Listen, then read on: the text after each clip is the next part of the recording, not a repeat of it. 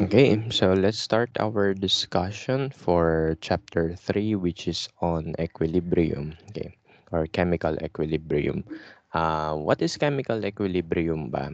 Okay, so ganito kasi. We usually see chemical equations written with one single arrow pointing to the product side. No? For example, let's have C6H12O6 plus 6O2 producing um, 6CO2 plus 6 uh, H2O. Okay, so this is the combustion of glucose, no? Yan yung formula niya. What's ano, what's written here is that yung ating arrow ay naka single point lang siya, no? It is only pointing to the right side, no?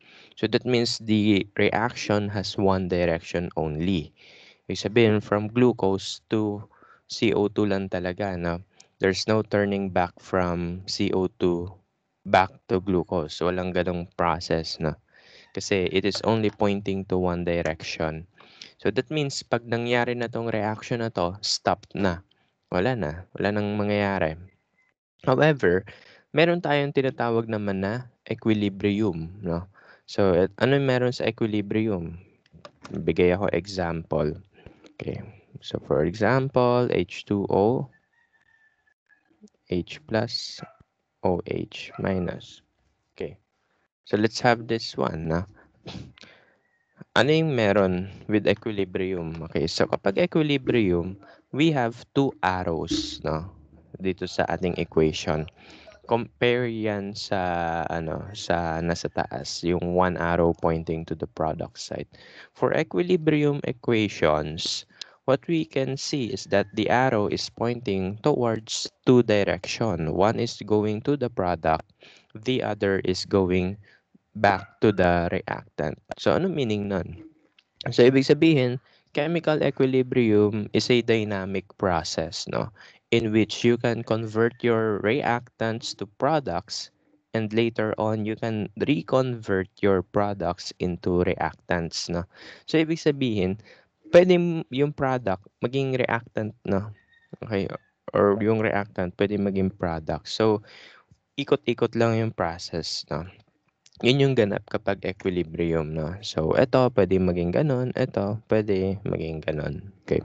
So, paikot-ikot yung, ano, yung reaction. Okay? So, that's why the formal definition for equilibrium is that Chemical equilibrium is a state in a system at which the rates of forward and reverse reactions are equal. So that means yung speed ng reaction going to the product is the same as the speed of the reaction going to the reactant. No? So, parehas nangyayari yan at the same time, no? So, whenever we have a dynamic process, when I say dynamic process, two-way process yon to the product, to the reactant. Whenever we have that, we have equilibrium. Okay.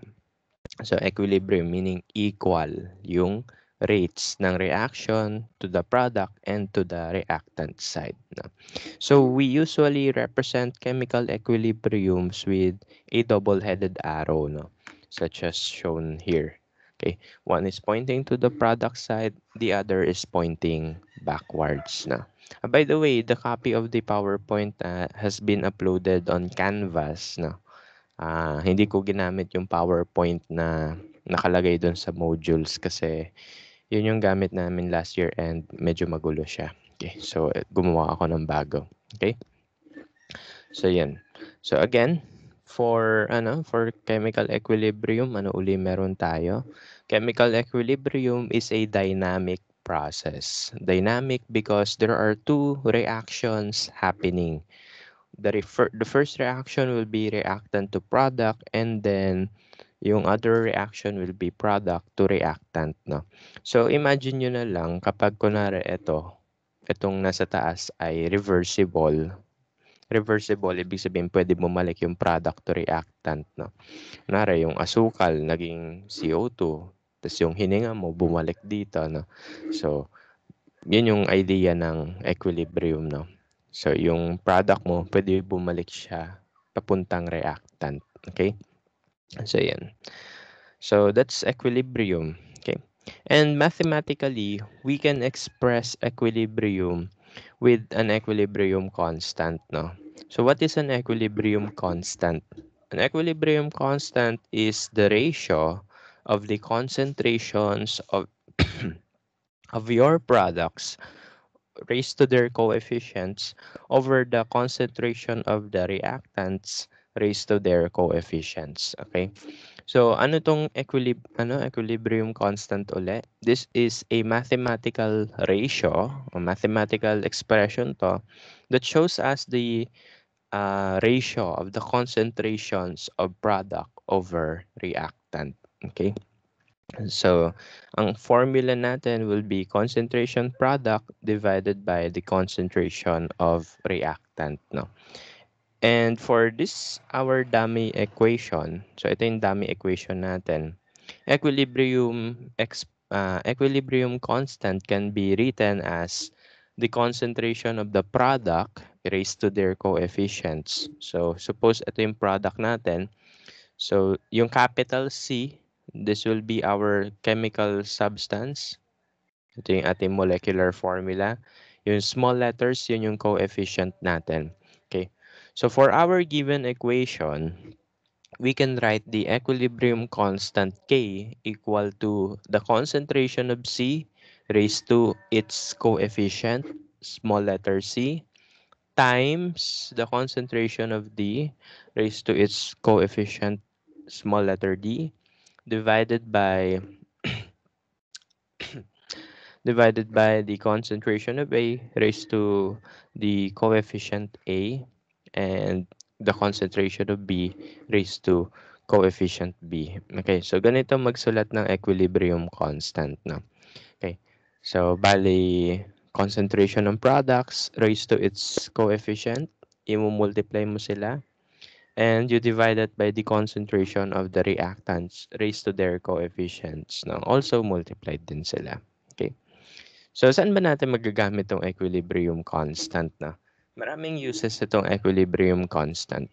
With this formula, we can actually determine the equilibrium concentrations of our substances. No? Pwede natin malaman yung pH ng substance. No? So, ma'am, ano, sa next meeting, dun tayo magkakaroon ng examples with that. No? Pero ang idea is that equilibrium constant will give will allow us to do quantitative analysis sa ating chemical species na. So ito yung tutulong sa atin in order for us to solve for uh, to solve for ano, to solve for the quantitative aspects ng chemical experiment natin. Okay? So again, uh, chemical equilibrium, this is a dynamic state of our equation. Ibig sabihin, there are two reactions happening at the same time and they are usually uh, usually characterized by an equilibrium constant which has the formula K equals concentration of product over reactant no, raised to their corresponding coefficients. So practice tayo magsulat ng equilibrium constant sa ngayon. Okay? So when we are writing equilibrium constants, no, only those that are written in the aqueous space and the gaseous space, no, and yan, hindi ang, no.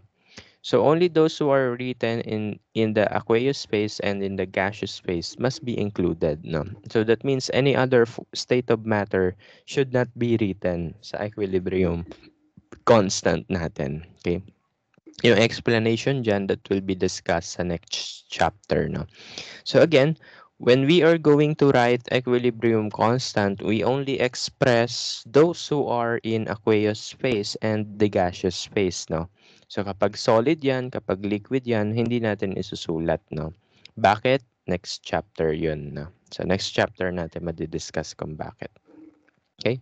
So for example, ito, let's try to write this equation in uh, let's try to ano write the ano equilibrium constant for this chemical equation here okay so we have the dissociation of liquid water to produce hydronium ion and hydroxide anion. No? So ito yung nangyayari sa tubig natin ngayon. So it dissociates into its ions, however, bumabalik din sila sa original na molecule. Okay?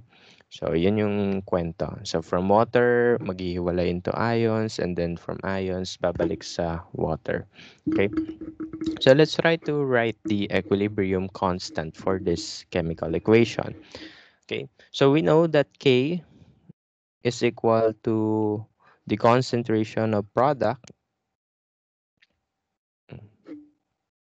Naka lang, gawin kong black yung ink. So we know that K is equal to the concentration of our product over the concentration of our reactant. If we express our equilibrium constant in terms of the concentration, we can call it Kc, okay, or the concentration equilibrium constant, okay? So ano uli? Kapag ang ating equation ang isusulat natin ay in terms of concentration, ito yung ginagamit for aqueous species, no? So, ang tawag natin sa K ay Kc, no? So, equilibrium constant for concentration. Dalawa kasi uri niyan, no? Pwedeng in terms of the concentration, pwedeng in terms of the pressure, no? Mamaya na yung pressure. Okay? So, kapag liquid yung ating species na ilalagay dito, Kc ang gagamitin. So, meaning non-concentration. Okay? So, paano natin isusulat yung Kc for this equation? Ano yung product? H plus and OH, no? So, we're going to write that as square bracket H plus. Kailangan naka-square bracket because square brackets indicate concentration, di ba? Sa molarity na discuss na yan siguro sa lab na. Okay? So, yan. So, concentration ng H plus times the concentration of OH minus. Okay? Kapag sa reactant naman, sige, so ano yung reactant natin? H2O, liquid, letter L. Okay, so kapag yan ay liquid and solid, should we write it or hindi na? Hindi na dapat, no? So, ang gagawin mo na lang over 1 or just simply leave it blank, okay? So, the equilibrium concentration, uh, I mean, uh, the equilibrium constant concentration is written as this one. The concentration of pr uh, products lang over the reactant. However, for reactant, we're not going to write anything kasi naka-liquid form yan, no? So again, only aqueous phases and gaseous phases must be written. Okay. Kapag aqueous phase ang nilagay mo, Kc yon. Kapag gaseous phase, Kp yon. Na. So magbigay pa tayong example. Don't worry, marami tayong example dito ha. Okay. So kunwari ito naman, gaseous phase. No? If you're going to write chemical species in the gaseous phase, you will need to use Kp. No? So Kp is the equilibrium constant in terms of pressure because we can quantify gases in terms of their pressure, not not ano, not in terms of their concentration eh. Hindi mo makukuha yung concentration ng gas agad-agad, no. Pressure yung madali. Okay. So we can write Kp as the pressure of the product over the pressure of the reactant. Okay? So ayan. Again, for gases lang ta ha, kapag P, pressure, gases. Pag ano, aqueous, square bracket or concentration. Okay, so sulat natin. Ano yung nasa product? Yung NO2. Okay, so we write that as P, then subscript NO2. Okay. Ano yung gagawin natin sa coefficient na 2? Sabi natin, yung coefficient na 2, gagawin nating exponent. Okay? Gagawin natin exponent.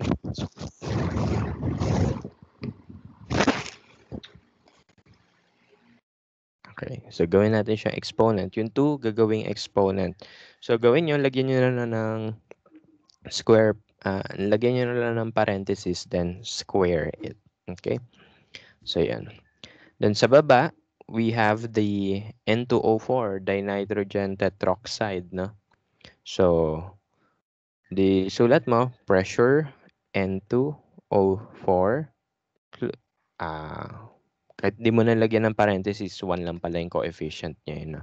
Okay, so yan. So that's is, that is our equilibrium expression for this chemical uh, equation. Okay, so Kp is equal to the pressure of NO2 raised to 2 divided by the pressure N2O4 raised to 1 or just pressure N2O4 na. So again, ano ginagawa sa coefficients? They are raised, no? Ini ginagawa silang exponents. Okay? So, ganun, ganun lang yung pagsulat ng equilibrium expression. Again, so there are two ways to write the equilibrium constant. One is by the concentration, Kc. Okay, so lahat ng aqueous spaces naka-Kc. Then, yung isa naman is Kp. Lahat na naka-pressure or lahat na naka-gaseous space, yun ay Kp. No? Uh, suppose meron tayong, kunwari, uh, sir, meron tayong aqueous sa equation and meron din tayong gaseous space, no? Uh, hanap tayong example. Wala akong example dito nun. Uh, kunwari lang, kunwari, sir, sa isang chemical equation, I have uh, kunwari, meron akong aqueous, then meron akong gaseous phase no, na, na na-produce. Paano ko po isusulat yan? No? Kasi ganito gagawin nyo. You can write two different equilibrium constants for this one. No? So, dalawa yung equilibrium constant na magagawa mo dito. One is in terms of the concentration, the other is in terms of K, uh, the pressure or the gas. No? So hindi mo pwede pagsamahin yung aqueous pati yung gas na magkahiwalay pa rin sila. No? So if you're going to write the Kc for this equation, you have to include only those who are in the aqueous space. Yun mga naka-AQ lang yung isusulat. Okay? So yung G, hindi mo siya isusulat kasi gas yan eh. Only the AQ must be written. So the Kc will be equal to the concentration of B. And yung Kp, Again, kapag Kp gases yan, pressure yan eh. Malobat tayo.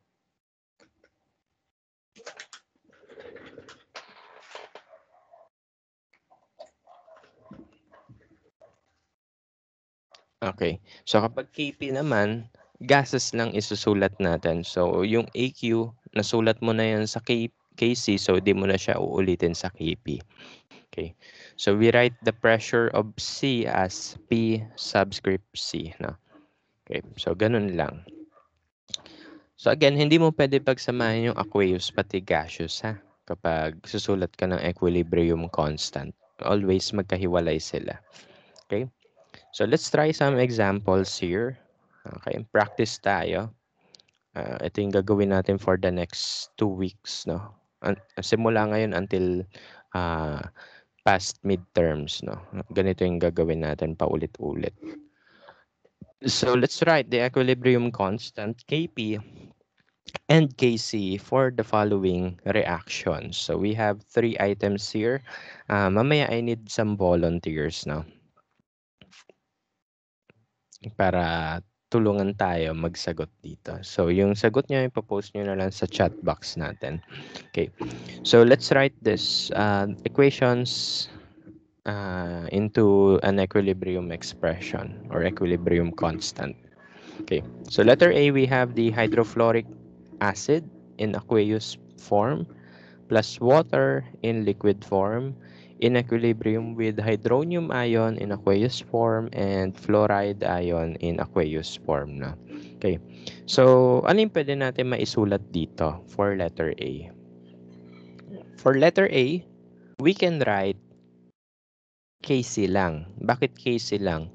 Kasi yung chemical species natin ay naka-aqueous phase. No? Yung liquid, hindi natin papansinin yan. Ha? So, uh, echopera natin yung liquids kasi hindi yan sinusulat na. Bakit? Yung answer ay nasa next chapter natin. Okay.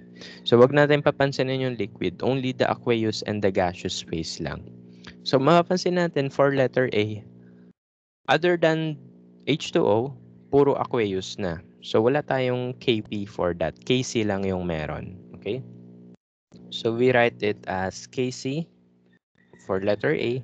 That's Kc equals the concentration of the product, which is concentration of H3O plus times the fluoride ion divided by the concentration of HF. Okay? So again, yung H2O since that is that is in the liquid form, hindi yan papansinin. Okay? So wag mo siya isusulat dito sa baba. Okay? So this is the equilibrium constant Kc for letter A. Do we have Kp for this one?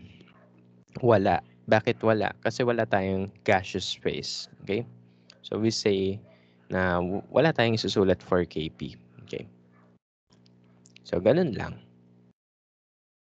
Or we can write Kp equals 0. Kasi wala tayong gases eh. Okay? So, ganun lang. So, dalawang equilibrium constant yung magagawa natin. One is in terms of the aqueous phases or the concentrations. The other is in terms of the gaseous phases or in terms of the ano, in terms of the um, pressure na. So, yan. So, Kc, ayan, Kp, ito.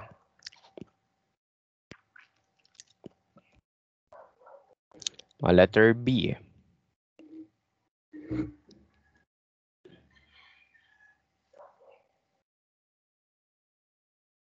Okay, so for letter B, we have the gaseous phases, no? So, edi obvious naman, Kp muna yung gagawin natin dyan. So, Kp, um, ano sa product would be NO2. So, we can write that as P subscript the formula. Okay, then since 2 yung coefficient ng NO2 here, we're going to write it as the exponent, no? So, raised to 2 natin yan. Then, sa baba, we have N, ano, 2NO and O2. So, sulat mo yung NO pati O2, no? So, that can be written as P subscript NO times P subscript oxygen gas.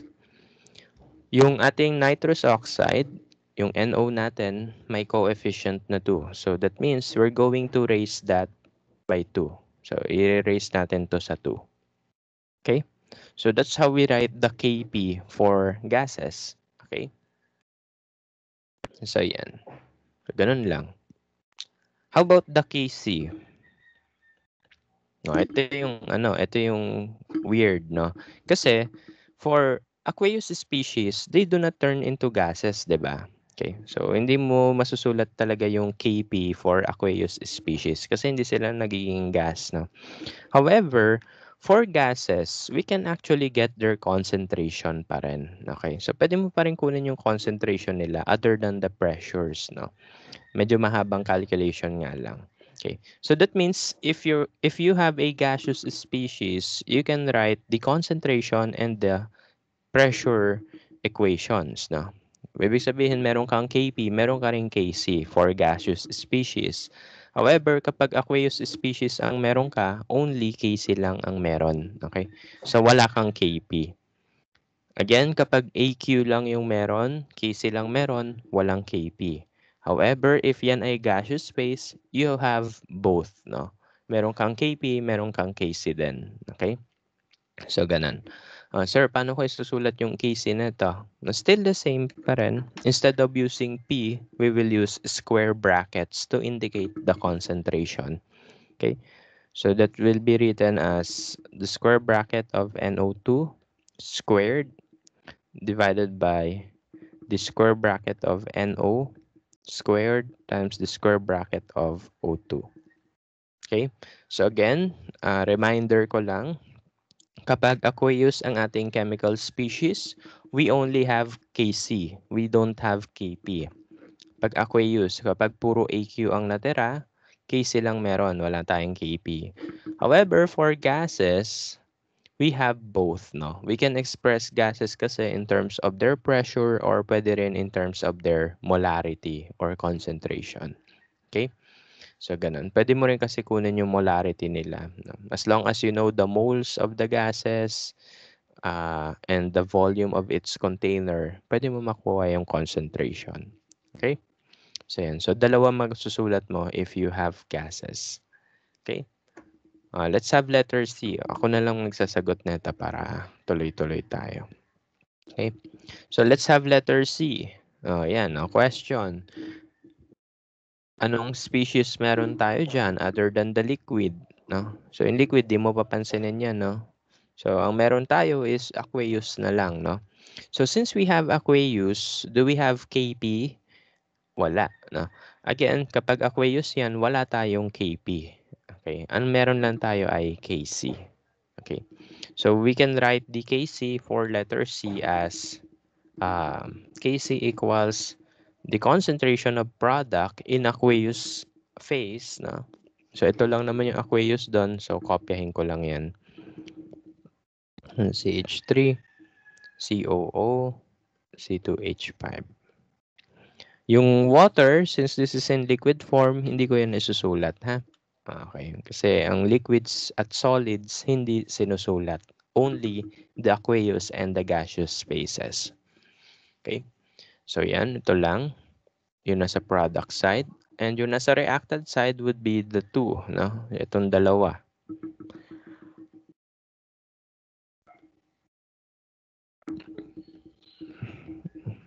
Ayan, so C2H5OH. Okay, so ayan.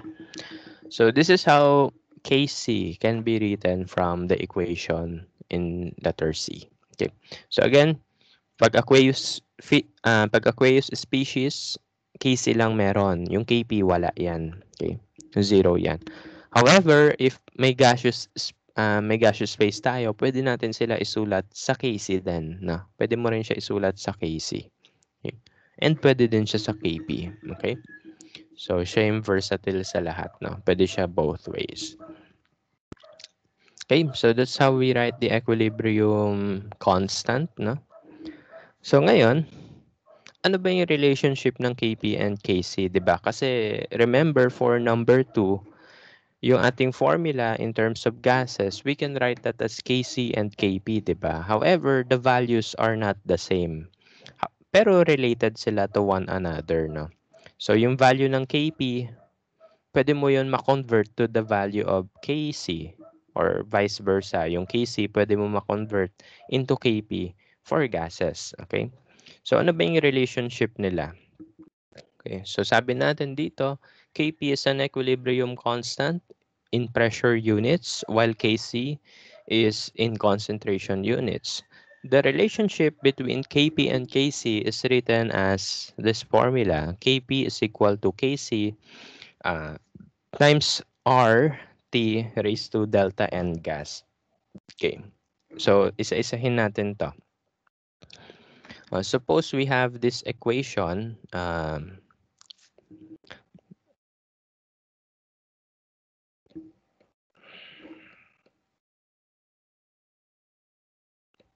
okay. Okay, so suppose we have this equation, yung value ng Kp, iba yun sa value ng Kc, no? Pero pwede natin ma-solve yung isa't isa using this equation. Kunwari, given yung Kc, pwede mo makuha yung Kp using this formula. Ako na given yung Kp, you can solve for Kc by um, modifying this formula. Okay. So, isa-isahin natin to. Ano yung Kp? Ito yung equilibrium constant in terms of pressure. Kc, on the other hand, is the equilibrium constant in terms of the concentration. R is the gas constant. Anong gas, gas constant yung gagamitin natin dyan? Yung 0.08 206 liter atmosphere per mole Kelvin. So, yun yung value ng R na gagamitin natin, 0.08206. T is the temperature in Kelvin. Okay? And the delta N gas, ano to? Exponent yan ah. The delta N gas is the moles of gas in product minus the moles of gas in the reactant, no? So, yun yung delta N gas. Pag pinag-subtract mo yung moles ng gas sa product and the moles of gas sa reactant, you will have the delta N gas. Okay? So, for this example, that will be B minus A. No? So, delta N gas for this example will be B minus A. Product na gas minus reactant na gas. Again, yung coefficient lang yung isusubtract. Okay? And that will serve as our exponent. Okay, so again, uh, pwede nyo screenshot yan. So this tells us the relationship between the equilibrium constant in terms of pressure and the equilibrium constant in terms of concentration. So the formula is Kp equals Kc times RT raised to the delta N gas, where the delta N gas is the difference of the moles of gas in the product, which is B, and the moles of gas in the reactant, which is A. Okay? So, yan. R is the gas constant in in terms of liter atmosphere per mole Kelvin. So, that will be 0.08206. T is the temperature in terms of Kelvin. Okay? So, yan. So, let's try to solve some problems related to this one. Uh, kunwari, ito. Practice na tayo mag-solve, ha? Uh, the, the equilibrium constant for the decomposition of phosphorus pentachloride to phosphorus trichloride and molecular chlorine is found to be 1.05 at 250 degrees Celsius. If the equilibrium partial pressure of PCl5 and PCl3 are 0.7 I 0.973 atm and 0.548 atm respectively, what is the equilibrium partial pressure of Cl2 at 250 degrees Celsius? Okay, so ano uli sabi sa problem? Uh, sabi sa problem, first sentence that Kp is equal to 1.05 at 250 degrees Celsius. Okay, so sulat natin yan dito. Sabi sa atin, the Kp is 1.05 at 250 degrees Celsius. Ano yung sabi sa sumunod na problem? Uh, sumunod na sentence. So according to the next sentence, if the equilibrium partial pressure of PCl5 and PL, ah, PCl3 are the following, so ibig sabihin, kung ang concentration daw nito ay 0.9, ay, uh, kung ang pressure niya pala kung ang pressure niya ay 0.973 atm, tapos si, ano, tapos si PCl3 naman ay 0.548, ano daw kaya yung magiging equilibrium pressure ng Cl2? Okay? At the same temperature. Okay? So, can we solve for the pressure of the Cl2? Pwede, no? So, paano yan? So, ang ganito yung technique natin. We first write the Kp, no? Kasi Kp yung given sa atin eh. Okay. So, what is the Kp for our equation? For our chemical equation, Kp can be written as the pressure of the products divided by the pressure of the reactants. Okay. So, that will be pressure of PCl3 times the pressure of Cl2 divided by the pressure of CL5, uh, PCL5. Okay, so what do we know, no? Kp is equal to 105. Okay, so substitute mo yan dyan. PCL5 pressure is equal to this, 0.973. So substitute mo yan dyan. PCL3 pressure is this, 0.548. So substitute mo yan dito. So, can we solve for the pressure of Cl2 in equilibrium? Pwede, no? So, you're just going to solve for this value. So, solve mo lang to. Okay? So, let's rewrite the equation in terms of PCl2. Uh, rewrite natin yan. Paano yon? Cross-multiply mo lang itong PCl5 and PCl3. Okay, so, let me do that.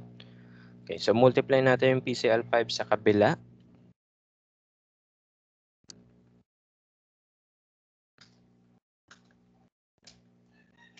Okay, so yan, cross multiply ko ito dito. And then later on, yung PCl3, katabi siya ng Cl2. Okay, so yung Cl2 yung hinahanap natin. So that means kailangan tanggalin natin yung PCl3. So di-divide natin to dito sa kabilang side. No? So the formula na gagamitin natin will be written as the pressure of PCl5 times the equilibrium constant pressure uh, that will be divided by pressure of PCl3 at equilibrium. Okay? So to solve for PCl2, uh, substitute mo na lang yung values. No? Okay, so that will be pressure of Cl5 is 0.973. By the way, kapag nagsusulat tayo ng concentration or pressure, hindi natin nilalagay yung units. Okay. So, wala siyang unit. Yung KP pati KC, wala siyang unit. Okay, so wag mo isusulat yung unit muna. Uh, yung KP, that will be 1.05, sabi kasi doon. Okay, and that will be divided by the pressure of PCl3, which is 0.548. Okay, so we can now solve for the pressure of Cl2. Again, Kapag magso-solve kayo, numbers lang ilalagay nyo. Okay? Okay, so numbers lang muna. Sa dulo na kayo maglalagay ng units. So that will be 0.973 times 105, 0.548. Okay, so the equilibrium pressure of Cl2 will be 1.86 1.864 actually. Okay na yan, 1.86. Okay, so that will be our final answer. Okay, so however, since ito ay pressure, sulat mo na lang yung ATM units. Okay? So, so again, kapag magsosolve kayo, wala kayong unit na ilalagay sa solving. Sa dulo ka na maglalagay. So kapag pressure, ATM yan. Pero kapag K yung hinahanap, kunwari, pinapahanap sa inyo yung K, wala talagang unit yon So number lang siya. Okay. So th that's how we use equilibrium uh, expression. No? We can get the equilibrium pressure or the equilibrium concentration of our chemical species. No? I'm sure familiar naman um, yung karamihan sa inyo dito kasi Gen Chem 2 to. No? Okay. So kapag hindi, okay lang naman. Okay, yan, yan na yan. Okay, so that's how we solve this problem. Again, paano natin sinagutan yan? We know that Kp is 105. And this is the equation. And ito yung corresponding pressures of the following gases. We are asked to solve for the pressure of Cl2. So to solve for this, we write the equilibrium pressure, uh, equilibrium constant in terms of pressure. Ito yon. Then we solve for the PCl2. So, nire-write natin to to get this equation. And then we plugged in all the values and we get this final answer. So at, equilibri at equilibrium, the pressure of Cl2 is 1.86 atmospheres. No? Ayun lang. No? So ganun lang. Well, let's try this one.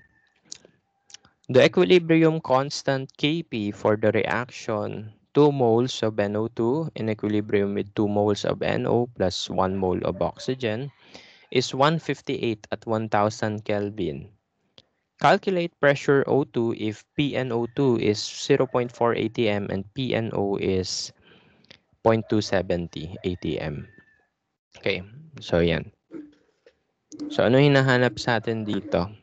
Yung pressure ng oxygen at equilibrium. So again, paano mo masasolve yun? You, you need to use the equilibrium constant. Okay, so let's write the equilibrium constant Kp muna kasi puro gases yung meron tayo at Kp yung binigay sa atin. Okay, so Kp yung isosolve natin pag ganyan. So we can write Kp as masyadong nasa gilid.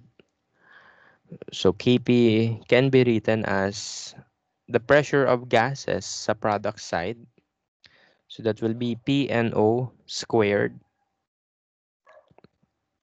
times the pressure of oxygen. Bakit naka-square kaya to? Kasi pag coefficient mo ay 2, gagawin mo yung exponent. 'Di ba sabi ko yan kanina? Yung coefficients ginagawang exponent kapag equilibrium constant. So that will be PNO squared times the pressure of oxygen. Again, hindi mo ipa-plus yan ha. Imo-multiply mo sila. Divided by the pressure of gases in the reactant phase or reactant side. No? So that will be the pressure of NO2 squared. Okay. So yan. So we are able to write the equilibrium expression, Kp, for this equation. Uh, let's now solve for pressure of the oxygen gas kasi yun yung hinahanap, no? So we need to solve for the pressure of oxygen gas. So ito yung hinahanap natin. So i-rewrite natin yung equation, cross multiply, okay? So bibigay ko na yung final equation. The final equation can be written as uh, Kp times the pressure of NO2 squared divided by the pressure of NO squared. Okay? So, karinos multiply ko lang yung ibang terms. Okay? So, this is our final equation. Now, what's next? No? So, what's next is for us to solve the PO2 na lang. Okay, so plug in mo na lang yung numbers na meron tayo. So, to solve for PO2, the pressure of oxygen gas, that will be Kp. So that's 158 times the pressure of nitrogen uh, nitrogen dioxide squared. Okay. So ano yung pressure ng nitrogen dioxide? 0.04. Ah, 0.4 pala. Squared. So again, wala kang unit na isusulat muna habang nagsasolve. So that's 158 times 0.04 squared. Kasi yun yung sabi dito. So kung ano yung pressure nito, lalagay mo lang doon. And the pressure of NO squared then. So ito lagay mo lang doon sa baba.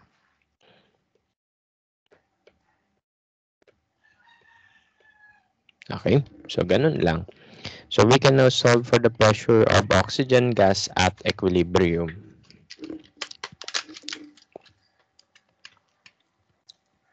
Wala tayo sa main topic ha. Ano, introduction pa lang to. Actually, andito na tayo. Um, kailangan ma-master nyo kasi itong ano, pagsulat ng KP and KC. So, that's why nag-start agad tayo dito, no? Kasi kailangan yan sa titration. Okay, makikita nyo yung application nito sa titration next sa susunod na mga chapters, no? So, yan. So, the pressure of oxygen gas at equilibrium is found to be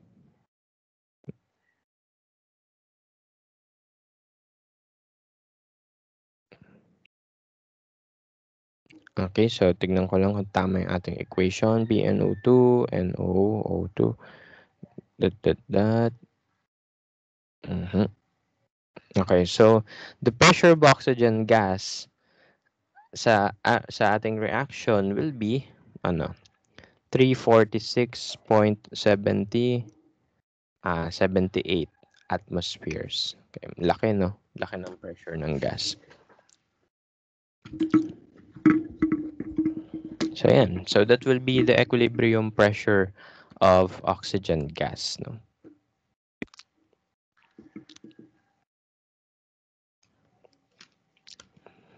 Sa ngayon, solving lang tayo, ha? Ganyan-ganyan lang muna tayo.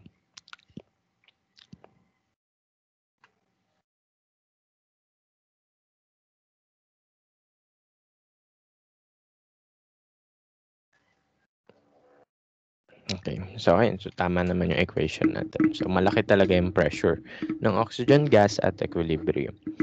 Okay. So, proceed tayo sa next question. Next question. Methanol is manufactured industrially by the equation or by the reaction carbon monoxide reacting with hydrogen gas to produce methanol. The equilibrium constant Kc for the reaction is 10.5 at 220 degrees Celsius. What is the value of Kp at this uh, at this temperature? Ito. Ang hinahanap Kp, ang given Kc. Ano pwede gamiting equation? Yung relationship ng Kp and Kc. Okay? So ano nga ba uling relationship nila, no? So the relationship of Kp and Kc can be written as Kp equals Kc times RT delta N gas. Okay? Raised to delta N gas. So again, yung Kp, ito yung hinahanap. Kc, yun yung given. Yung R, this is gas constant, 0.08206. T is the temperature in Kelvin. So that means we have to convert to 20 degrees Celsius to Kelvin and raised to delta N gas. So ano uli yung delta N gas? That is the moles of gas in the product minus the moles of gas in the reactant. Okay? So that's product minus reactant. Okay? Yung gaseous, ano lang, gaseous species lang yung pagsusubtractin natin. Okay? Pag may aqueous dyan, hindi mo gagamitin yun. Only the gases lang. Okay? So let's solve for Kp. Okay? Um, Kp is equal to uh, the value of Kc, which is one, uh, 10 point, hmm, teka lang, which is 10.5 times R, uh, gas constant is 0.08206. Huwag mo na isulat yung unit. Okay?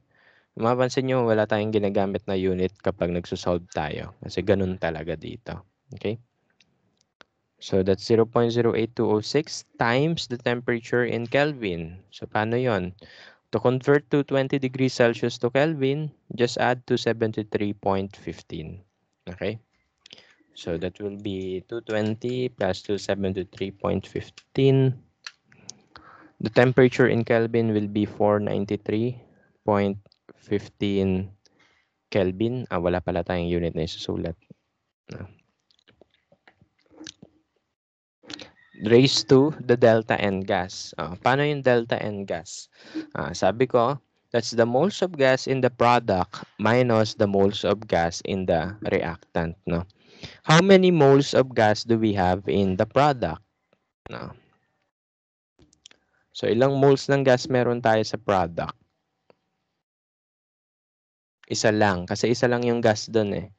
CH3OH lang. So, 1 mole lang yan kasi wala nakalagay na coefficient. So, that will be 1 mole for the product. For the reactant, ilan yung ano?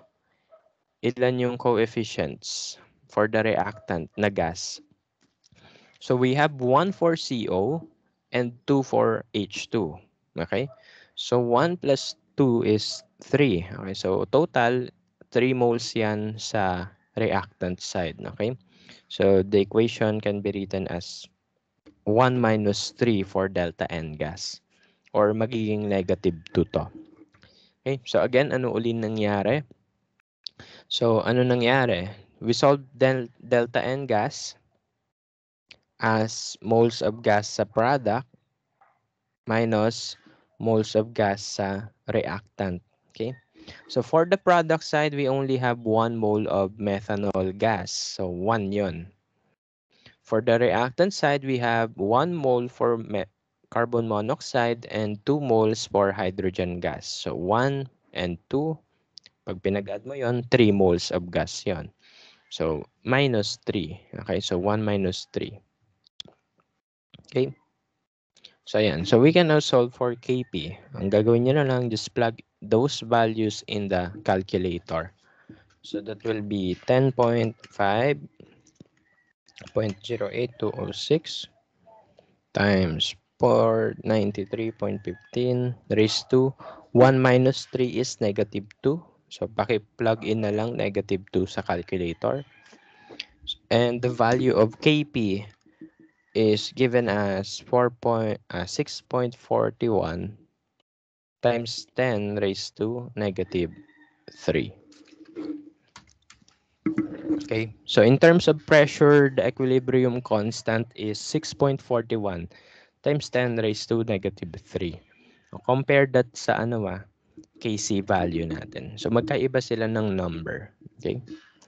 So bakit sila nagkaiba ng number? Because of the delta N gas. No?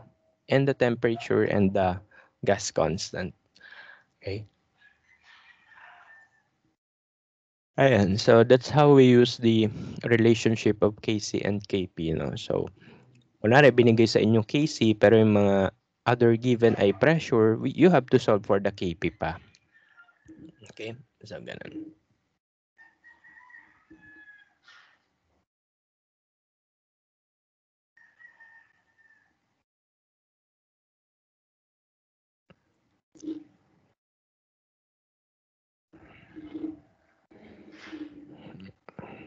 Ah, ito, let's try this one.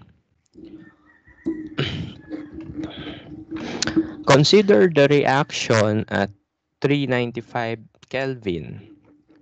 Uh, so we have NH4HS. Okay. Solid yan. So, again, solid yan. Um, bakit ko ine-emphasize? Alam nyo na dapat kung bakit ine-emphasize yan. Okay. So, NH4HS, solid in equilibrium with NH3 gas plus H2S gas. Okay, so the partial pressure for each gas is 0.265 atmosphere. Calculate Kc and Kp. Kunwari, oh, yan yung nakalagay. So, paano mo isa-solve yan? So, ano ba yung given? So, ang given sa atin will be the partial pressure of each gas is 2 165 ATM, no? 0.265 ATM. So that means, ano, ito, ang pressure niyan will be 0.265. Eh, yung gas na yan, yung ammonia, yung sumabog sa, ano, sa nabotas ba yon Mabaho yan eh. Kaya delikado. Okay, so ang pressure ng ammonia would be 265 uh, uh, atmospheres ang pressure ng hydrogen sulfide ay 0.265 din. Kasi sabi dito for each gas. How about ammonium sulfide? So, paano kaya ito? Wala yung pressure. Kasi solid yan. Oh. Again, kapag solid, hindi mo papansinin yan. Kasi hindi mo siya susulat sa equilibrium uh, expression. Okay, so wala lang yan. Okay. So wala tayong pressure for that. Oh. So wag niyo papansinin kapag solid. Okay. So since ang binigay sa atin ay puro pressure, then ang pwede natin isulat ay yung Kp. Yung Kp muna isosolve mo na. So puro pressure kasi binigay sa atin eh. So let's solve for Kp. Kp can be written as the pressure of the products over the pressure of the reactants. In our case, product lang maisusulat natin kasi yung reactant ay solid, no? So, pressure ng product, that will be pressure of ammonia times the pressure of uh, hydrogen sulfide. So, yun lang. O, yun sa denominator, ano meron? Wala. Bakit? Kasi supposedly that's reactant, no? Pero solid to eh. So hindi mo isusulat kapag solid. So wala kang isusulat sa denominator. So our Kp can be written as this lang. Okay? So let's solve for Kp. So solving for Kp, that will give us 0.265. Basically, the times mo lang yan sa sarili niya or square mo lang yan. So the Kp is equal to 0 0.07 Okay, so 0.07. Okay na yan. So that's the value of our Kp. How about Kc? So for Kc, that can be written Uh, that can be solved, no? Kasi meron na tayong KP eh. Di hanapin natin yung KC. Paano? Using the relationship of KP and KC. So, remember the formula. Kp equals Kc times RT delta N gas. Okay. So we are we are going to solve for Kc. So basically, we're going to divide both sides by RT raised to delta N gas. Now, so that's Kc equals Kp divided by RT delta N gas. Okay? So, plug in mo na lang yung numbers. So, plug in. So, ano meron tayo? 0.07 for Kp. For R, we have 0.08206 times the temperature in Kelvin. Uh, ano ba given? 395 Kelvin raised to delta N gas. So, products minus reactants. No? For the products, ilang moles of gas meron tayo? Meron tayong dalawa. Okay? So, ito yon. So, ito yung isa, ito yung isa pa. So, 1 plus 1, 2. So, 2 moles of gas in the product. How about the reactant side? Wala. No? So, wala tayong moles of gases kasi puro solid lang yun nandun. So, that's 2 minus 0. So, 2 minus 0 is 2. No? Okay, so, yan. So, let's solve for Kc na. Hmm, solve na natin siya. So, that will be 0.07 divided by 0.08206 times 395. Hmm, teka lang. And then, square mo yan. So, the value of Kc for our equation will be 6.66, no? Hmm.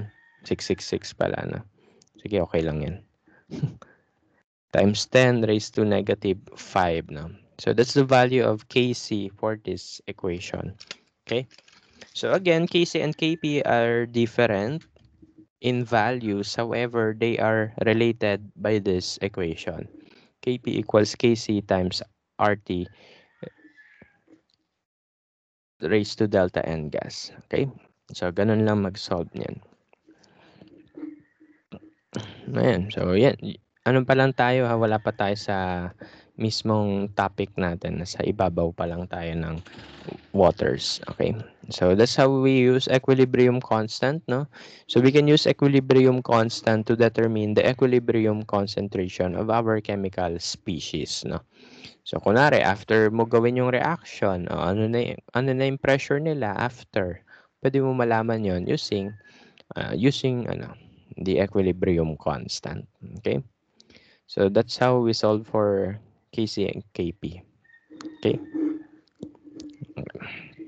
So balik ulit tayo sa equilibrium constant na. Okay. Uh, suppose natin no that what if baliktarin mo yung equation? What if binaliktad mo yung equation? What will happen to your equilibrium constant? Okay. So may mga operations kasi involving equilibrium constant. So suppose this is our equation A, this is our equation B. Okay. So for letter A, okay, susulat ko yan KA. Okay. So equation constant ko yan for A na. so that can be written as the, uh, let's say, pressure of gas sa product side squared over pressure ng um, pressure ng reactant gas. No? So, yan yung nasa Ka. Yung K ng A, no? equation A natin. How about sa K ng B? Okay. Ano mapapansin nyo sa equation B? Yun ay binaliktad lang na equation A. Okay? So, pinagbaliktad yung reactant pati product. No? Pinag-switch sila. So, sulat muna natin yung, ano, yung equilibrium constant for equation B. So that will be the pressure of N2O4 divided by the pressure of NO2 squared. Okay? So yan. So ano nangyari? Kapag binaliktad mo yung equation, what happens to your equilibrium constant? Nababaliktad din. No? Nare-reciprocate. Okay? So basically, we can say that if we flipped our equation, what happens to the K values is they become reciprocals, no? Magiging reciprocal sila ng isa't isa. Okay. So, mangyayari nun, kapag itong A, binaliktad mo into B, magfi-flip yung numerator pati denominator. So, ito yung idea. Magre-reciprocate siya. Okay? Babaliktad lang yung equation. Okay? So, yan yung first operation natin involving the equilibrium constant. So, again, pag flip mo yung equation, the equilibrium constant will also be flipped. No? Maging reciprocal siya. Kung ano yung nasa taas, mapupunta siya sa baba. Ano yung nasa baba, mapupunta siya sa taas. Okay? So, ano yan? Magre-reciprocate sila. Okay? So, yan yung first, ano? First clue natin. Ayan, so sabi, nakalagay na pala dito. No? So, when writing the equilibrium reaction in opposite direction, the, equi uh, the, equilib the equilibrium constant becomes the reciprocal of the original. So, bumabaliktad lang. Okay? So, yun lang. Ano pa? The value of K also depends on how the equilibrium is balanced. No? Okay, so depende sa pagka-balance mo ng equilibrium const, uh, ng equilibrium expression mo, may corresponding K value dyan. Well, suppose we have this, no? For letter A, we have the balance equation in terms of integers, no? Ibig sabihin, whole numbers meron tayo. For equation B, we still have the same formula. However, the coefficients are in decimal. Okay. So, balance pa rin yung dalawang yan. Ang difference lang is yung isa whole number, yung isa decimal. Ano yung effect nun sa equilibrium constant? Okay? So, sulat natin yung equilibrium constant for A. So, for A, that will be uh, pressure of NO2 squared and pressure of N2O4 sa denominator. For letter B, we can write the equilibrium constant as pressure of NO2 divided by the pressure of N2O4 raised to 1 half. So, so sa tingin nyo, ano nangyari? Ano nangyari? Yung Ka, basically, naging square root ng KB. Uh, I mean, yung KB pala, naging square root ng Ka. No? Teka lang. Ayusin natin. So basically, yung KB, naging square root lang yan ng Ka, no? So ibig sabihin yan, if you divide the coefficients by 2, magiging square root yung K, ano, yung bagong K nun. Okay? Mm, tignan nyo. Tignan nyo yung KB, ha. Uh, square root nyo tong, ano, PNO2 squared ano maging exponent kapag in-square root mo yan? 1 na lang. Square root mo tong nasa baba, P, Pn2O4. Ano may exponent kapag in-square root to? E di 1 half. Okay? So that means if you divide the equation by 2, kukunin mo yung square root nun bale ng k value mo. Okay? Kapag minultiply mo naman to sa 2 lahat, kunwari ito, minultiply mo sa 2, ano gagawin mo sa k mo? i-square mo naman siya, no? Suppose we have uh, 2NO4, N2O4 in equilibrium with 4NO2. So, kapag times 2 mo naman yung equation mo, ang gagawin mo sa K mo is i-square mo siya. Okay? So, the value of K really depends on how the equilibrium is balanced, no? So, kapag dinivide mo sa 2 yung coefficients, basically kinukuha mo yung square root ng k, no? If you divide the coefficients by 3, uh, basically kinukuha mo yung cube root ng k value natin. So if you multiply the coefficients by 2, then parang inano, parang in-square mo na lang yung k value mo na original. And then kapag times 3 mo yung coefficient, basically kinube mo yung K value mo na original. Okay? So, ganun. So, ang K value, hindi siya constant, no? Iba-iba yung value niya depending on the order ng ating equation. Pag baliktad siya, di magre-reciprocate yung value ng K. Okay? Pwede rin naman kapag minultiply mo sa 2 yung equation, magiging square yan. Pag dinivide mo sa 2, magiging square root, and so on so forth. Okay? So that's why equilibrium constant is ano, iba-iba, no? Kasi iba-iba yung ano, pag-balance ng tao. Yung iba gusto ng 1 half, gusto nila ng fraction, yung iba ayaw nila ng fraction. So magkaiba sila ng k value, okay? So, baka, ano, pag may nakita kayong ganong ano, items sa, for example, quiz or sa worksheets natin na ibibigay ko next meeting, sasagutan nyo. Okay. So, dun sa mga worksheet na yon pag nakita nyo magkaiba yung value ng case, okay lang. Look at the equation. Baka kasi iba din sila. Okay. So, again, the value of k depends on how the equilibrium is balanced and how it is written. Pwedeng naka-reciprocate siya or pwedeng naka-square, pwedeng naka-square root, so on and so forth. Okay? So that's our operations involving equilibrium constants. Ito pa. Equilibrium constants are multiplied when the reactions are combined. No? So, ibig sabihin, pwede daw natin sila i-multiply kapag pinagsama mo yung dalawang equation. Uh, suppose we have this one. Um, nagulo lang yung format dito. Ayusin ko lang. Okay. So, this is our equation 1. A plus 2B is an equilibrium with C that has a value K1. Yan yung equilibrium value niya, K1. And yung second equation ay C in equilibrium with D and 3E. So, ang equilibrium value niyan ay K2. So what if i-combine natin yung dalawang equation? If we combine the equation, ano mangyayari? So gawin natin yan. So in terms of the ano equation, pag pinagsama natin yan, we can write that as A plus 2B plus C in equilibrium with C plus D plus 3E. Okay? So basically, pagsasamahin mo lang yung mga reactant, pati product. And kapag mayroong similar formulas, ika-cancel mo sila. Uh, tignan nyo, may isa tayong C dito, may isa din doon. So pag sinubtract mo yung C on both sides, walang matitira. So kapag may parehas na term, ika-cancel.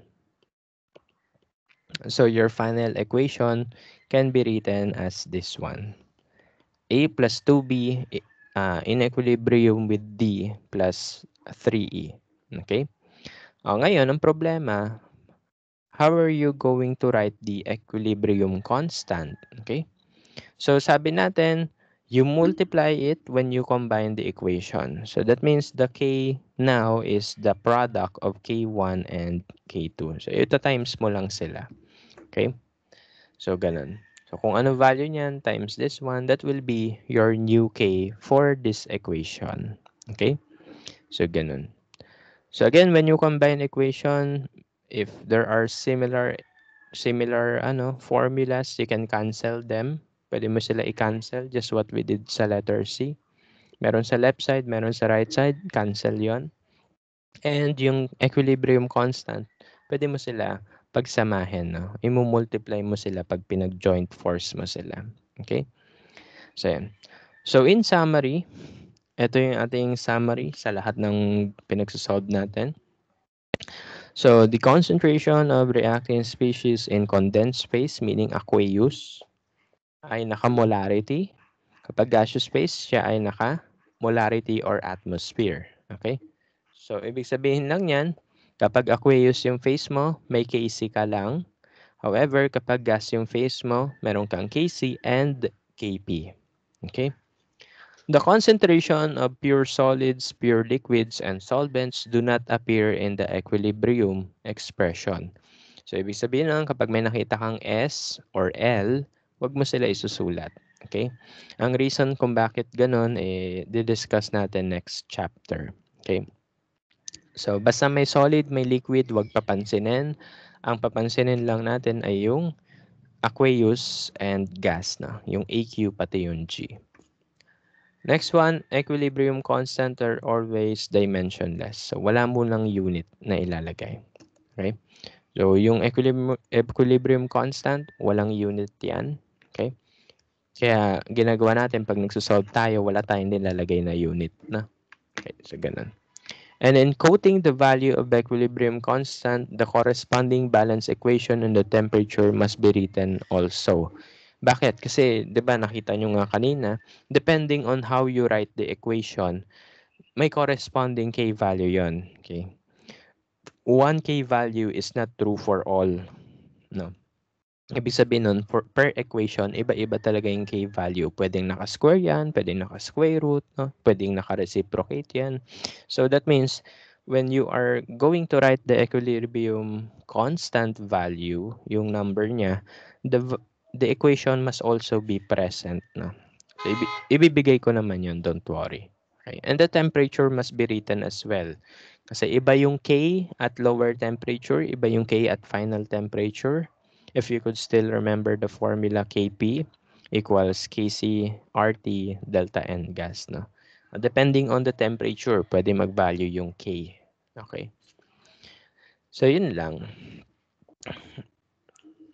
So, ano ba yung pwede natin mag- magawa rin dito sa equilibrium constant? No?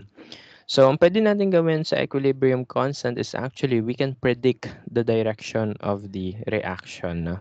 So, pwede natin malaman whether the reaction is going to the product side or going to the reactant side. No? Kasi remember, two directions meron tayo. So, we can do both. No? So, paano natin malalaman if saan siya pupunta? Going to the product side ba siya? Going to the reactant side? No? Paano? So, we make use of the two equations. No? So, meron tayong equilibrium constant, yun yung K, and meron din tayong tinatawag na reaction quotient, yun yung Q. Okay, si K and si Q, magkapatid lang yan. Okay. Kumbaga sa ML yan si Bell, pati si Balir, no? So, si K, ito yung ginagamit natin kanina pa. Si Q naman, ito yung kapatid niya. So Q is the reaction quotient and the formula is similar with K. However, take note that kapag equilibrium constant, we are pertaining to equilibrium concentrations. No? Equilibrium concentration or pressure. Pag Q naman, we are pertaining to initial. Okay? So before ma-reach yung equilibrium, no? So again, ano yung difference ng K pati ni Q? Parehas lang yan ng equation. Ang pinagkaiba lang ay pag K, equilibrium yung ating values. Pag Q, initial. So hindi pa nangyayari yung reaction niyan. Kapag equilibrium kasi, ano na, tapos na yung reaction. Balance na lahat. No? So yung Q, hindi pa nagbabalance lahat. No? Okay, so hindi pa nag-start yung reaction. Then, eventually, yung Q pupunta sa value ng K, no? Para maging balance na siya. So, i-compare lang natin yung dalawang value. Okay? So, paano mo i-compare yan? Ako, ginagawa ko, I use a number line. Yung kulay blue, ito yung ating equilibrium constant. Ito yung balance na gusto natin. Okay, kasi ito talaga yung equilibrium nga eh, balance yan. So, lahat ng equation, lahat ng reactions, pupunta sa K value. So, yun yung kulay blue sa gitna. If ang inyong Q ay less than the K, ah, ito yung Q natin dito, kapag less than the K siya, the reaction will proceed towards the product side, no? So, ibig sabihin yung reactant, i-convert niya to product side, no? For it to go sa K. Okay? Para maging equilibrium siya. So again, if mas maliit yung Q kaysa sa K, it will proceed towards the product side, no? So that the equilibrium can be achieved. Okay. Now, what if equal naman sila parehas? That means your system is already in equilibrium now. So nasa equilibrium na siya, wala na siyang pupuntahang direction. Okay? So stay na siya as is. However, Kapag ang Q mo ay greater than your K, ito yung Q mo, ito yung K uli, no? Pag mas malaki yung Q kaysa sa K, ang mangyayari sa reaction, aatras siya. So that means yung product gagawin niyang reactants uli in order to achieve balance. Okay? So, ang goal lang naman kasi dito sa K is ma-achieve yung balance sa equations natin. Okay? So, yun. So, if mas marami ang reactants mo kaysa sa products, then your reaction will proceed no, in two directions. Pwedeng to the right side, towards the product side, pwedeng to the reactant side. Okay? So, ganun lang. So, yan. Uh, take note nyo na lang yung number line. Isipin nyo yung nasa gitna yung K. Then, kapag mas maliit yung Q kaysa K, edi towards the product side. Pag mas malaki yung Q kaysa K, towards reactant side. Okay? So, pa pa-atras yung reaction pag mas malaki yung Q kaysa sa K. Okay. So, let's have some few examples na lang. No? So, onting examples na lang. Then, tapusin na natin tong session natin. So may may iba pa tayong examples for the next meeting, no. And bibigyan ko rin kayo ng worksheet para mag-practice kayo. Puro solving lang talaga tong topic natin na to, okay? Para tayo nagla nagla-lab class dito. Uh, let's try this one. At the start of a reaction, there are 0.351 mole of nitrogen gas, 36, uh, point, uh, 3.67 pala. Now, 3.67 times 10 raised to negative 2 mole of H2 and 7.51 times 10 raised to negative 4 moles of ammonia in a 3.75 liter vessel at 375 degrees Celsius. If the equilibrium constant is 1.2, predict the net reaction at equilibrium. Ang sabi dyan, given yung initial amounts of our substances, ito yung initial mole ng N2, H2, and NH3, hanapin daw natin yung direction ng reaction. Okay? So is the reaction going to the product side or to the reactant side? Tignan natin. Paano? So, given na yung KC, uh, always naman ibibigay yan eh. Okay? Unless yan yung pinapahanap. So, given na yung KC, sabi doon, 1.2 yan. So for us to determine kung saan yung direction ng reaction, kung to the product side ba siya or to the reactant side, kailangan alam natin yung Q. Okay? So ano ba yung Q? Q is the reaction quotient and it has it has the same expression as your equilibrium constant. So let's write the Q for this equation. So again, Q is the concentration of product minus reactant However, initial yung concentration nila. Okay, initial amounts ang meron.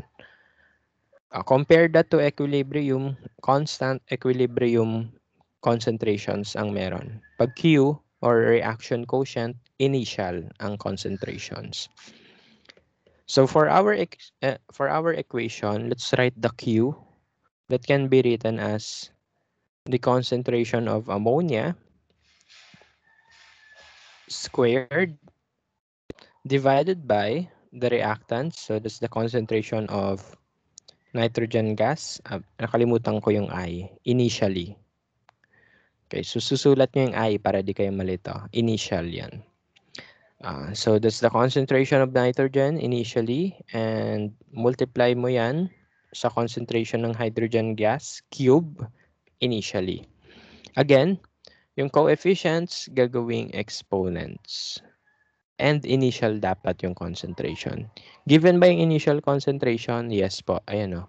At the start of reaction. Ay, ito na yan. Okay? So, ayan. So, ngayon, let's solve for Q. A question. Ano yung gagamitin ko dito? Kasi naka-square bracket yan. No? So sabi natin kapag concentration, ang gamit dapat ay molarity units. No? Sabi na yung kanina dito. Hmm, dinaanan natin yun. Kapag ang ating species ay concentration, dapat molarity ang ating unit. Ano merong unit tayo dito? Meron tayong moles and meron tayong volume ng container. So if we divide the moles of the gas and the volume of the container, we can actually get the molarity of our gases. Okay, so basically we divide the moles by the volume of the container. So, mole over volume, that's molarity, di? Okay, so, di-divide mo pa yan. So, plug in lang natin. So, that will be 0. Point, uh, for ammonia, uh, ito, ammonia pala is ito. Wait lang. Kamali ako ng sulat. Okay, so for ammonia, the concentration can be written as its moles divided by 3.75 liter vessel. So that will be 7.51 times 10 raised to negative 4 divided by the volume of the vessel, 375 liters. Then square mo pa yan. For nitrogen gas, that will be uh, 0.351 divided by 3.75 liters squared, no? Times the moles of hydrogen gas, 3.67 times 10 raised to negative 2 divided by the volume of the container squared ulit. Okay? So, ito yung mga initial concentration nila. So, ito yung initial concentration ng ammonia. Mole divided by liter. Molarity yan. Yan yung concentration initially. Ito yung kay nitrogen gas. So, ito yon divided by the volume of the container. Ito yon And ito yung kay hydrogen gas. So, ito yon Mole divided by the volume in liters. Ayan. So, let's solve for Q. Pindutin ko lang sa calcu ko. No? Pindutin nyo na rin para masanay kayo.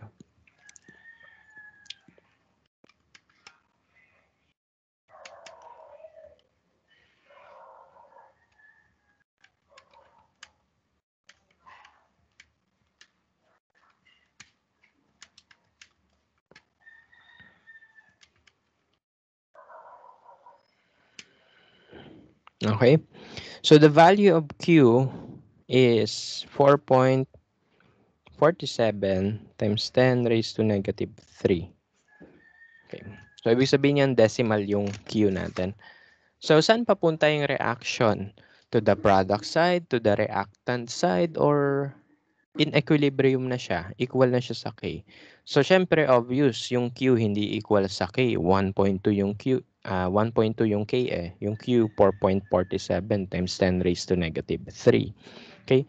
So, para malaman natin saan papunta yung reaction, gawa na lang kayo ng imaginary number line. So, ito yung K natin, 1.2. Asan yung Q dyan? Is that greater than the K or less than the K? So, the Q is less than the K kasi this is a decimal, no? Times 10 raised to negative 3. Eh. So, ibig sabihin yan, ito ay 0.00447. So, andito yung Q. Okay, so ito yon 4.47 times 10 raised to negative 3. So, saan papunta yung reaction? To the reactant side, to the product side. Ang gagawin nyo, gawa lang kayo ng arrow from Q to K. Oh, from Q to K. Uh, saan siya nakapoint? Sa right side. So kapag naka-point yan sa right side, that means the reaction is going to the product side. Okay? So yan yung ating goal. So ibig sabihin yan, uh, given the initial concentrations, we know that the reaction will proceed towards the product side no because Q is less than the K. Okay? So ganun lang.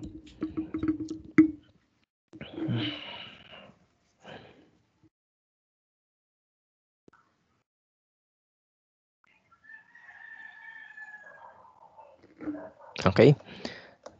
Uh, last item. Ito na yung last question natin for today. And then after this, pwede na tayo mag pahinga ulit. Pwede na matulog ulit. No?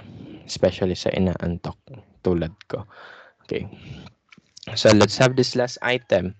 So the equilibrium constant for the formation of nitrosyl chloride from nitric oxide and molecular chlorine is 6.5 times 10 raised to 4 at 35 degrees Celsius. Ibig sabihin yung Kc daw ay 6.5 times 10 raised to 4 Okay. In a certain experiment, um, 2.0 times 10 raised to negative 2 mole of NO, 8.3 times 10 raised to negative 3 moles of Cl2, and 6.8 moles of NOCl are mixed in 2 liter flask. In which direction will the system proceed to reach equilibrium? Is that going to the reactant, to the product, or equilibrium na yan?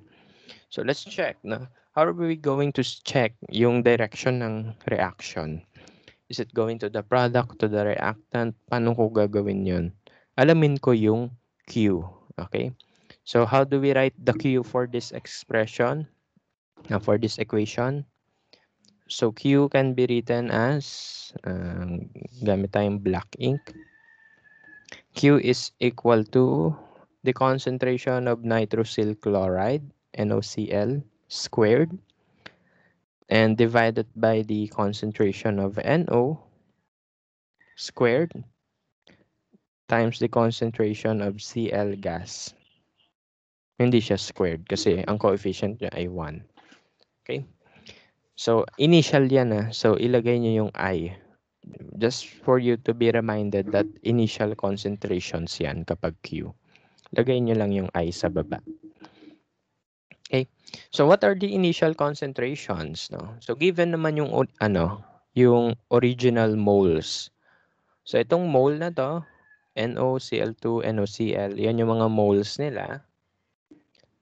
Tapos, ito yung volume ng flask. So, basically, kung anong ginawa natin sa previous problem, ganito rin gagawin natin dito.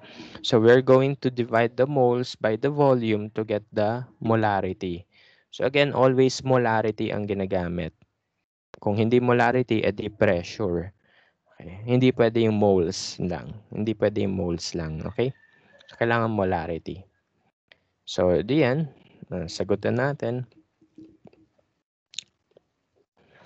So, for NOCl, ano yung molarity niya? So, that will be 6.8 moles. Sabi sa problem eh. Divided by 2 liter flask.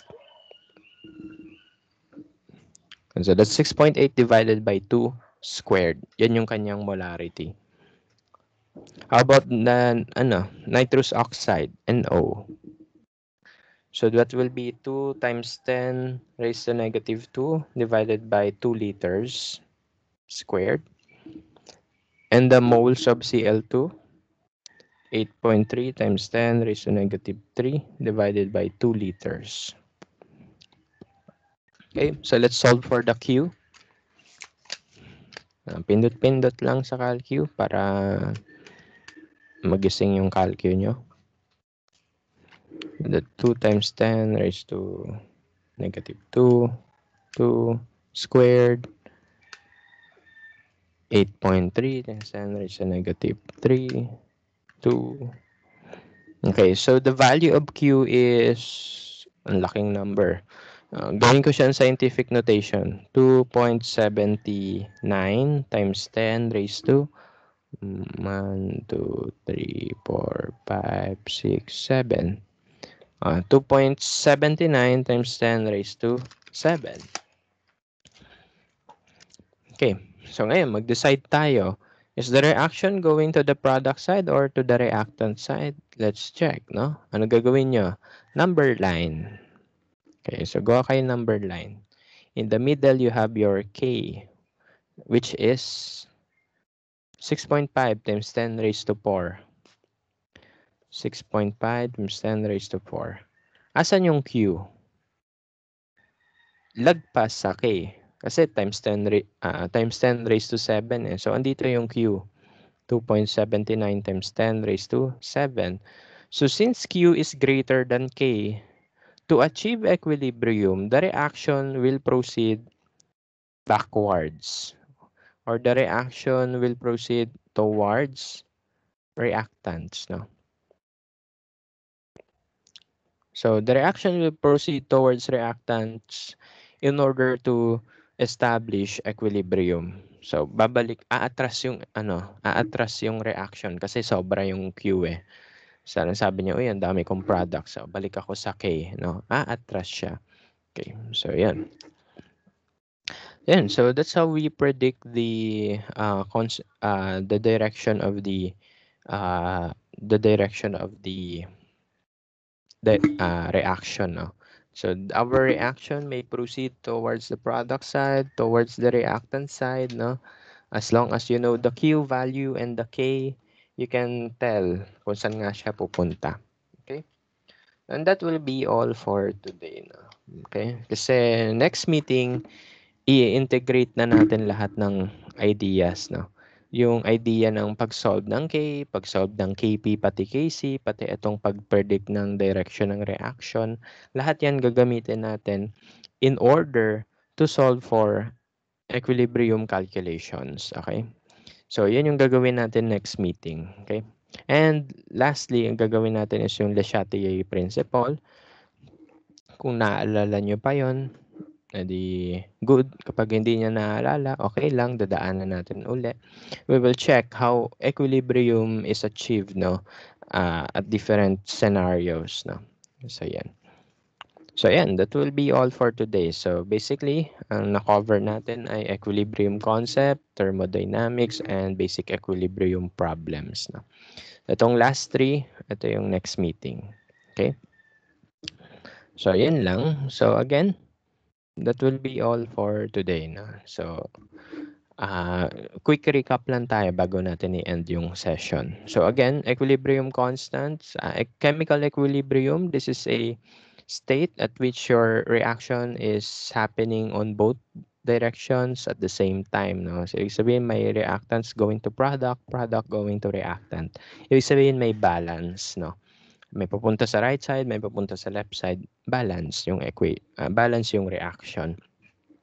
And we express equilibriums in terms of the double-headed arrow, no? So may double-headed arrow tayo, one is pointing to the right side, the other is pointing to the left side. Mathematically, we can express this equation in terms of the equilibrium constant K, wherein you can write K as the ratio of the concentration of products over the concentration of your reactants. Okay? To write that, ano, ang gamit natin ay concentration of your product raised to the coefficients over the concentration of your reactants raised to their coefficients. Okay, so kapag aqueous ang species mo, concentration gagamitin mo. Kapag liquid yan, hindi mo siya isusulat. Pag solid yan, hindi mo rin isusulat. Okay? So again, kapag aqueous yan, ang meron ka lang Kc, pero wala kang Kp. Okay? Pag gases naman, meron kang Kp and at the same time, meron ka ring Kc. No? So, ganun. Pag Kp ang usapan, pressure ang ilalagay, hindi concentration. So, yan. Tapos, if given ang Kc, hinahanap mo Kp or vice versa, no? You can use the equation Kp equals Kc, RT raised to delta N gas, wherein delta N gas is the moles of gas in the product side minus the moles of gas in the reactant side. Again, gas lang yung moles, ha? So, yan, nag-solve-solve tayo. I want you to, ano, answer this again pagkatapos ng class natin para ma-review nyo, no? Okay, so yan. And ito, depending on how we write the equilibrium constant, may effect yon sa K value. Suppose binaliktad mo yung equation, then your K value will become its reciprocal. So babaliktad yung K value nyo. So yung numerator magiging denominator, denominator magiging numerator. So magre-reciprocate yung value niya kapag binaliktad mo yung equation. If you divide the equation by 2, yung coefficients dinivide mo by 2, then you are getting the square root of the k. Kapag times 2 mo lahat ng coefficient, then in-square mo yung k.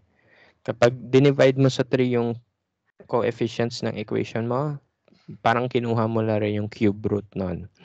Pag times 3 mo lahat ng coefficient, then parang kinube mo na yung k. Okay, so, ayan. And then lastly, kapag pinagsasama mo yung dalawang equilibrium constant, minumultiply mo lang sila. Okay? And kapag may parehas na equation, or pag may parehas na species on both sides of the equation, you can cancel them. Okay? So ito yung summary ng rules. Pag concentration, molarity. Pag gaseous phase, we can express them in two ways. Pwedeng molarity or pwedeng atmospheres. Pure solid, pure liquid, and solvents, they are not written in the equilibrium constant expression. So in solid, liquid, wag isusulat. Only aqueous and the gaseous phase lang. Equilibrium constants are dimensionless. Ibig sabihin, number lang yan. Wala yang value. Uh, wala siyang ano, units. And whenever you're quoting equilibrium constant, the corresponding equation must be presented as well. Kasi again, iba-iba yung value ng k depende sa kung paano mo sinulat yung equation. Kung baliktad ba siya, tinimes 2 mo ba, dinivide mo ba sa 2, or pinagsama-sama mo lahat ng k. No? So, kailangan nakasulat yan. And we can use K in order for us to predict where the reaction is going. Papunta ba siya sa reactant side? Papunta ba siya sa product side? Kasi dalawa yung pwede natin puntahan eh. To the left, to the right, di ba? So in order for us to determine the direction of the reaction, we need to make use of the reaction quotient. So si reaction quotient, ito yung kapatid ni K. Si K ay equilibrium value si Q ay initial value. So same lang siya ng equation. Initial nga lang kay Q at equilibrium si K. So gagawin mo, yung K usually ibibigay yan, yung Q yung hahanapin mo.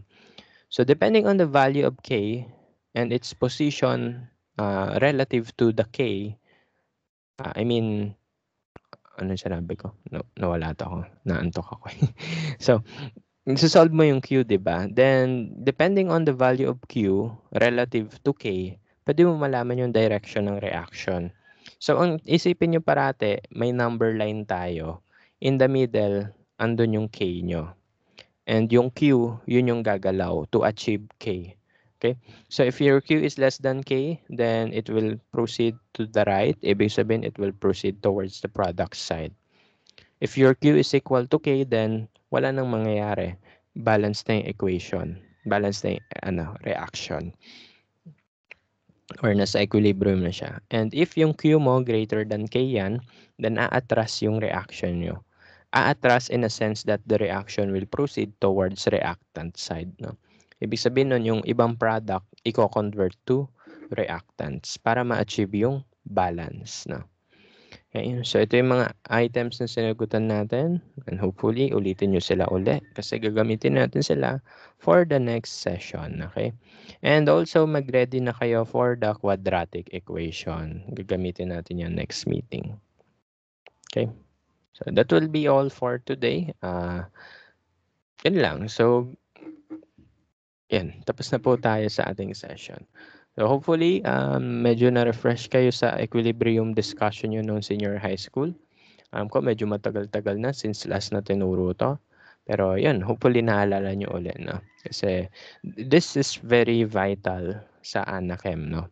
Uh, kasi as long as you know the equilibrium, pwede na kayo makapag-solve ng um, titration problems and other problems sa Anakem. No? So hanggat hindi nyo sana ma-master, mahirapan kayo sa ganun topics in the future. Okay? So that will be all for today. So I'll see you again next week. No? Um, next week pala, no, ang Monday class nyo, walang pasok. Next week ba? Oo, next week. Oo, next week. Bakit? Monday ba yun or Thursday? Teka lang ha. Check natin yung holiday. Ah, Thursday class pala yung walang pasok kasi EDSA. Okay. So, ma-adjust na naman yung lab class ko. Okay, so anyway, so ang holiday natin for next week would be EDSA lang. So, walang pasok yon So, hopefully, you have time there to review ano, the equilibrium concepts natin. Okay? And so, that will be all for today. Uh, para sa mga kakarating lang sa ating session, i-upload ko to sa YouTube mamayang gabi. So pan panoorin niyo na lang ulit, no. Or if you want to answer our ano, our problems again, tingin na lang kayo sa YouTube video natin. Upload ko to mamayang gabi. Okay? So that will be all for today. Thank you.